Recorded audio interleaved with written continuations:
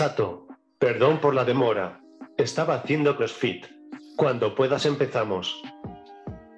Pues ya, si quieres, le damos ya. Hola guapos y guapas. Hoy tengo el placer de entrevistar al líder y gran defensor del capitalismo y el neoliberalismo en España.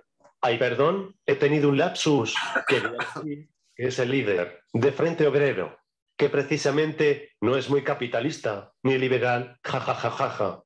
Él es un escritor, geógrafo e historiador que tiene un carisma y un nivel de oratoria y un temple que yo creo que si Adolf Hitler levantara cabeza, le aplaudiría con tal efusión como una cheerleader norteamericana, jajajajaja. Bienvenido Roberto Vaquero, ¿cómo estás? Bueno, pues en primer lugar estoy muy contento de poder estar aquí y de bueno, que hayas pensado en mí para venir y yo, bueno, yo he visto un poco tu trayectoria y me pareces una persona muy luchadora y yo eso lo respeto mucho, así que es un verdadero placer y estoy muy contento de estar aquí. En primer lugar, me gustaría que nos contaras por qué decidiste ser escritor, geógrafo, historiador y por si acaso te aburrías también político, jajajajaja. Cuéntanos un poco tus inicios hasta llegar a ser el líder del comunismo en España. Bueno, en primer lugar, yo no me considero líder de nada, porque el comunismo está en horas bajas, pero sí estoy intentando pues, construir algo nuevo, eso sí, sin duda. Eh, el resto de cosas de escritor y demás, bueno, pues yo soy un lector voraz y, bueno, una cosa llevó a la otra. Terminé escribiendo libros y la verdad es que he tenido mucha suerte con las editoriales que han valorado mi trabajo porque hay muchos escritores que, de gran calidad que escriben y no se les da una oportunidad. Y a mí me la dieron y, la estoy aprovechando. lo de geografía e historia, bueno, pues mi padre me obligó a estudiar políticas porque historia era de fracasados. Y al final pues me puse a trabajar, dejé de políticas, no lo terminé, me puse a estudiar historia y geografía y el próximo año, si todo va bien, espero empezar el doctorado. Así que bueno, yo animo a la gente a que haga un poco también sus pasiones, porque vida solo hay una y el que la vive eres tú, no los demás por ti. Así que bueno, eso es yo creo mi, ha sido un poco mi motivación y sobre cómo me politicé, pues a partir de la lectura, a partir de la, lectura de la historia sobre todo, eso una cosa llevó a la otra y me terminó llevando un poco en esa evolución a donde estoy hoy en día. Estuviste una temporadita en un sitio que no es precisamente un hotel cinco estrellas, and resort, and sauna y spa.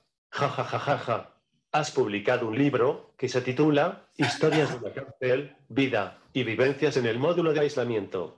Haznos una sinopsis de qué trata tu libro. En la descripción de esta entrevista pondré el enlace para que podáis comprarlo. Bueno, es, un libro que lo que intento, porque claro, hacerlo autobiográfico, pues a mi edad pues es un poco ridículo. Entonces decidí eh, hacerlo de una manera más novelada para quitarle un poco de rudeza a algunas cosas pero mi intención era, primero, que no se me olvidaran algunos detalles eh, vividos allí, porque con los años pues vas distorsionando un poco ¿no? las cosas, y quería pues denunciar la situación que viven muchos presos en el sistema penitenciario español, y ese es el objetivo principal. Y lo hago de una manera entretenida, de una manera que yo creo que puede interesar a la gente, y así le pareció a la editorial Adarve, de hecho, y, me dieron una muy buena oportunidad. Así que estoy muy agradecido a todos los que me animaron a escribir este libro. Ahora me gustaría saber un poco sobre tu persona, tranquilo, que soy calvo, y los calvos somos buena gente y no invadiré mucho tu intimidad. Ja, ja, ja, ja, ja, ja. Aparte de cada mañana, cuando te levantas y cantas el cara al sol, como si no hubiera un mañana, ¿qué otras aficiones tienes? Ja, ja, ja, ja, ja, ja. ¿Qué te gusta hacer en tu tiempo libre? Bueno, yo soy una persona que entreno mucho. Yo antes competía, de hecho, en Kickboxing K1 y estoy pensándome el volver otra vez, aunque sea ya de pureta. Y soy una persona que, bueno, que entreno muchísimo, siempre he tenido, bueno, un alto concepto, ¿no? De, de lo que es la cultura física como un modo de vida también y me lo aplico un poco a todas las facetas de mi vida, pero desde luego yo creo que lo que más hago aparte de leer y otras cuestiones que se ven ¿no? en, en, los vídeos y en los libros que hago es sin duda entrenar.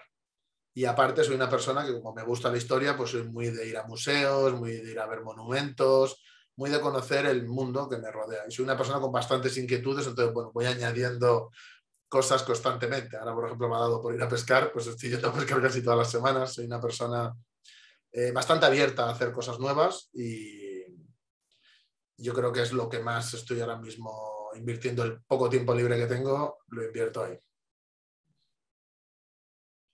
¿Cuál es la filosofía de vida de Roberto Vaquero?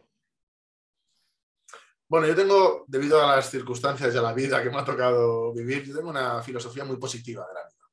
Yo siempre intento sacar incluso de la peor situación algo bueno.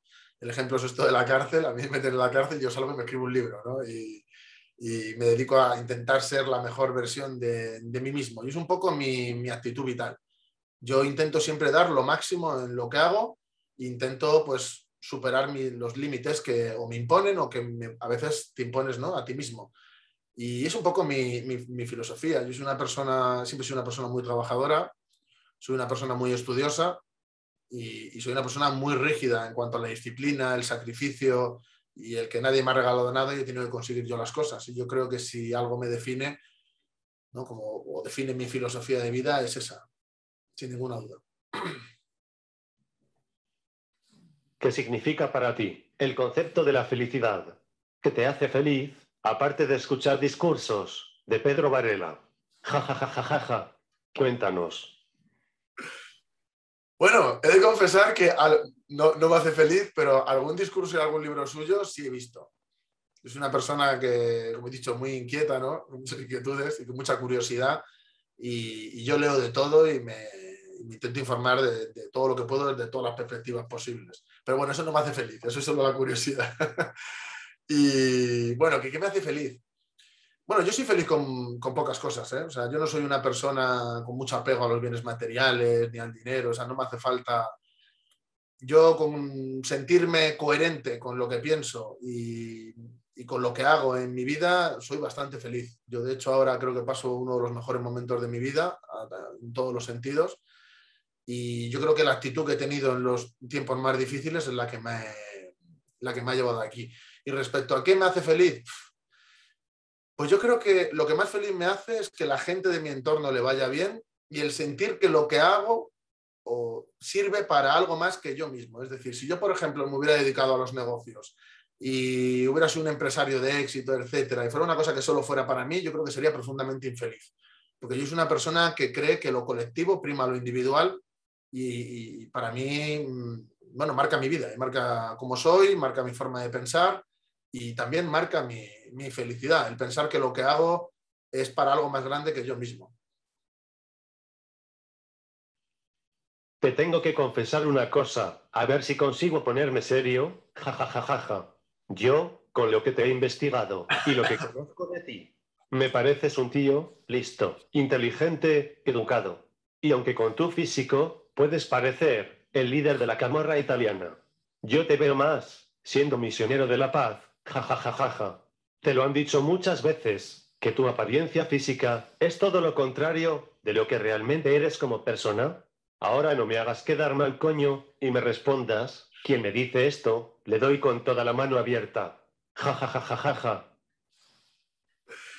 no, hombre, no. Sí me lo han dicho muchas veces, ¿vale? Porque hay muchos prejuicios en la sociedad y la gente juzga eh, a las personas por la apariencia y no por lo que realmente son. Pero bueno, a mí desde pequeño me enseñaron todo lo contrario, ¿no? Que hay que juzgar a la gente por lo que son y no por lo que te pueda parecer a ti, que es subjetivo. Sí es verdad que tengo pues un físico, pues mira, soy grande, eh, soy un tío fuertote, tatuajes, pues sí, que si boxeador, que si no sé qué, pues sí, sí, soy, tengo un poco esa imagen, pero pero es una imagen, bueno, muy, muy externa y que cualquier persona que me conoce sabe que no soy así.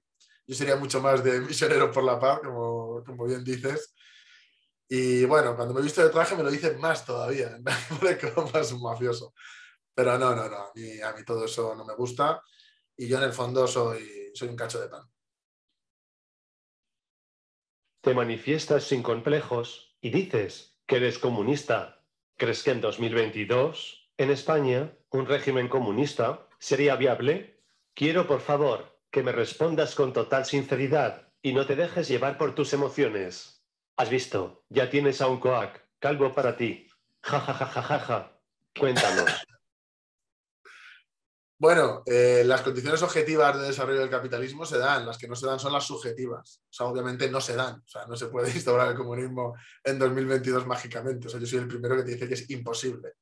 Pero creo que sí se pueden hacer cosas para mejorar la sociedad y en un futuro preparar esas condiciones y que sí se pueda dar. Pero obviamente a día de hoy es inviable. Si te dijera que sí, pues es como si te cuento, bueno, pues una novela de ciencia ficción. Entonces, bueno, yo en ese sentido soy bastante realista, yo defiendo la política real, pero eso no significa que no se puedan conseguir eh, grandes cosas. Pero bueno, yo, soy sincero, yo he dicho lo que pienso de verdad.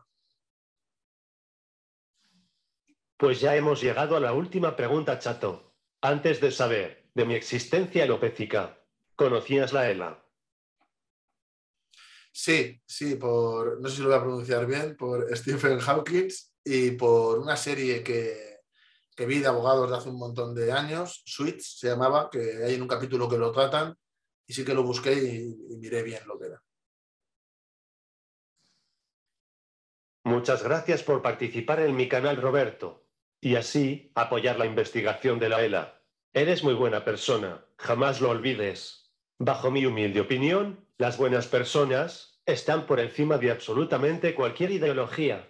Así que un fuerte abrazo con mis pestañas, amigo, y cuando te hagas misionero de la paz, avísame, y nos vamos los dos. Ja, ja, ja, ja, ja, ja. Gracias a ti, Jordi, por invitarme y por ser un luchador. Muchas gracias. Me siento muy honrado de estar aquí.